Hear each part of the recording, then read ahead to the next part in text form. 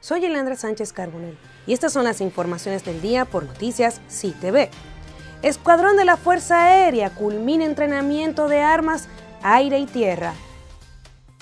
El Escuadrón de Combate de la Fuerza Aérea Dominicana, que opera en la base aérea de San Isidro, concluyó un riguroso programa de entrenamiento y capacitación en la fase de empleo de armas aire-tierra en la aeronave A-29B Super Tucano este programa, impulsado por el comandante general, mayor general técnico de aviación, Carlos Ramón Febrillet Rodríguez, ha servido para dotar a los pilotos de la capacitación y destreza operacional necesaria para responder ante cualquier eventualidad que amenace la soberanía nacional.